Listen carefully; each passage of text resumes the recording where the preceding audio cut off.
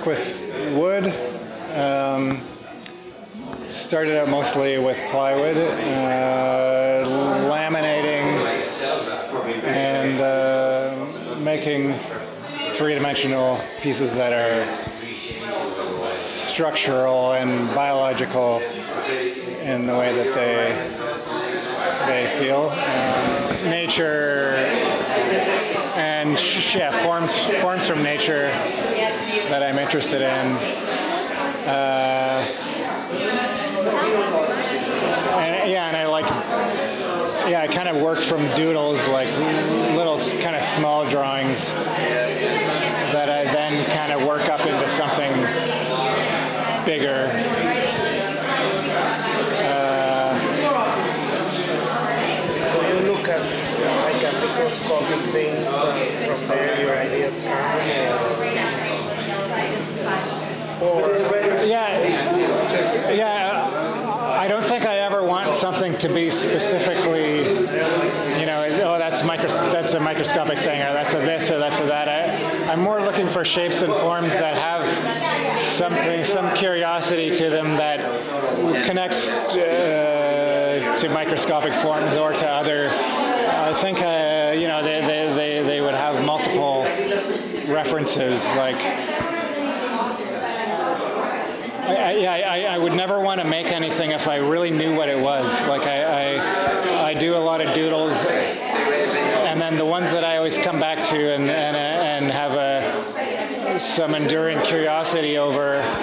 It's like I, there's something about it I can't figure out, or I can't totally put my finger on. Uh, that makes me want to want to go through the work, uh, all the work of actually turning it into a, a, a real life kind of person-sized thing.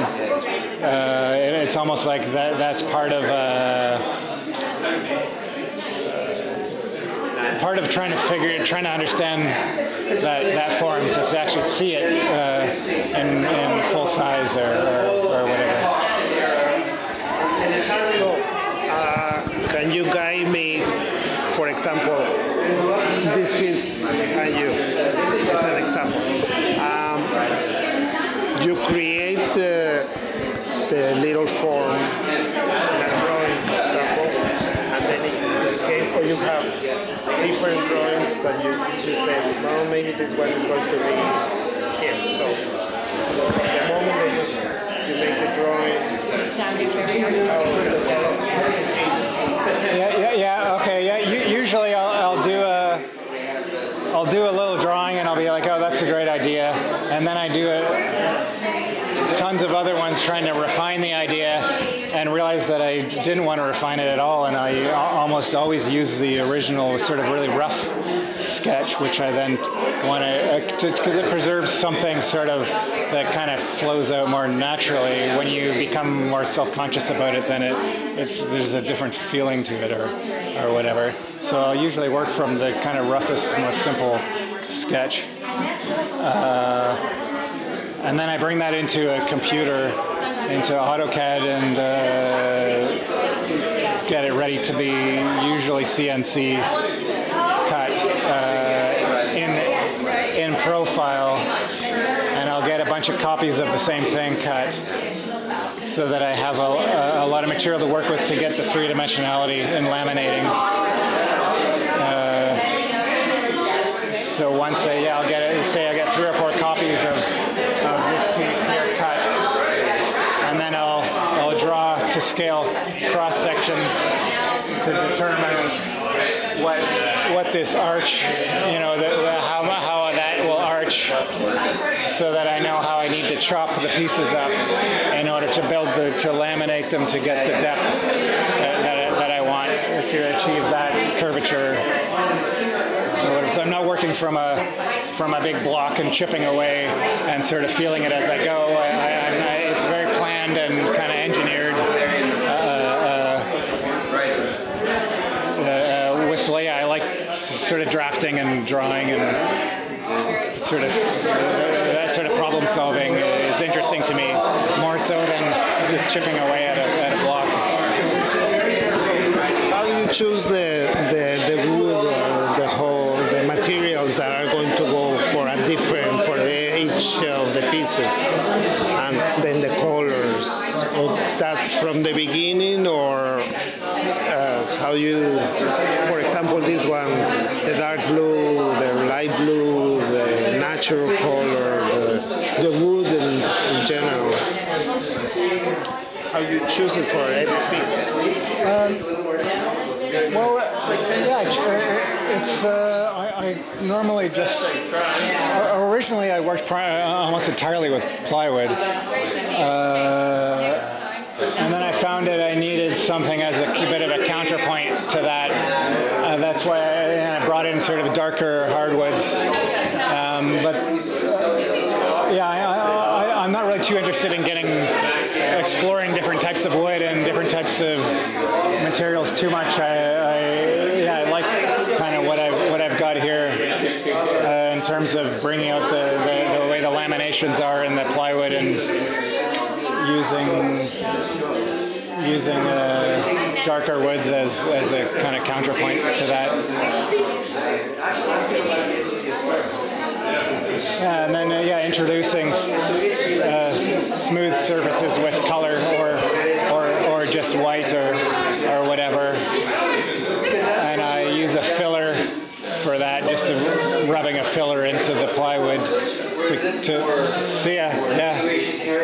Thanks for coming. Congratulations. Yeah,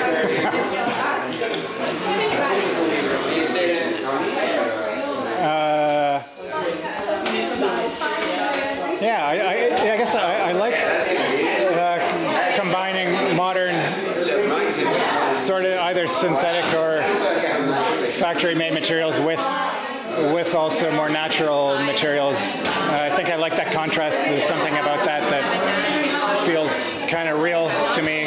Like it feels like a, you know, using just natural woods feels like a bit of a fantasy because we, you know, the world is different now, and I'm different, and and, and we, we drive cars around and use computers, and and uh, so that that's why I I think plywood appeals to me because it, it does have that. Uh, it, it has a nice nostalgic woody feel to it, and yet there's it has a, something really rational about it too, and uh, and structured uh, in a in a in a contemporary way, I guess, rather than a yeah. So yeah, I guess I'm uh, sometimes I feel like I'm playing yeah in that what what feels kind of natural and what what what feels. Uh, uh, I guess how we how we look at things through the lens of current understanding of the world and which is you know more scientific and rigid, I guess. Talk a little bit about your philosophy behind the, the shapes and the what's behind the whole thing besides using the materials and everything? The shapes, why the shapes? What, what, what is that you are trying to express with those shapes? Or, Yeah, that's interesting. but that's pretty much it. I think I think I just kind of start out with something that it uh, appeals to me. It's just like a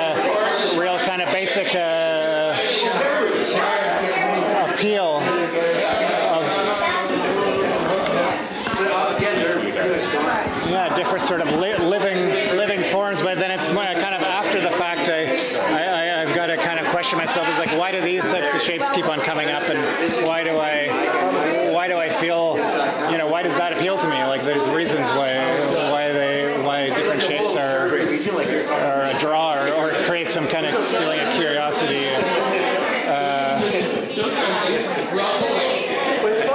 And yeah, so I, I mean, uh, on different days I might come up with different answers for that, and it depends on which pieces too. you know. Let's Yeah, it's nice to say, see, uh, see things that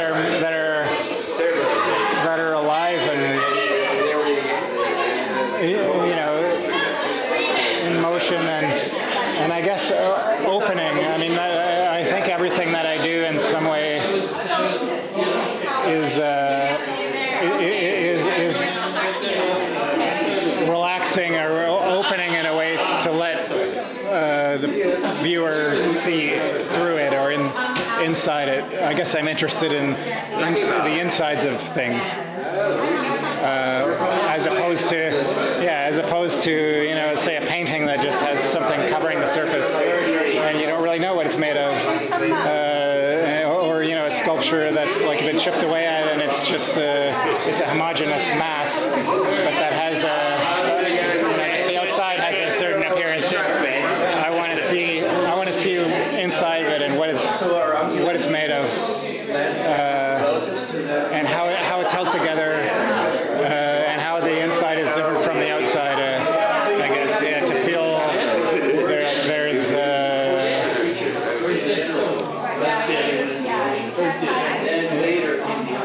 yeah, I guess to me that feels like you have some insight into the the shape of the thing rather than just seeing what what's on the surface of it. Uh, so I guess yeah, that, that that's that's maybe what I'm trying to do.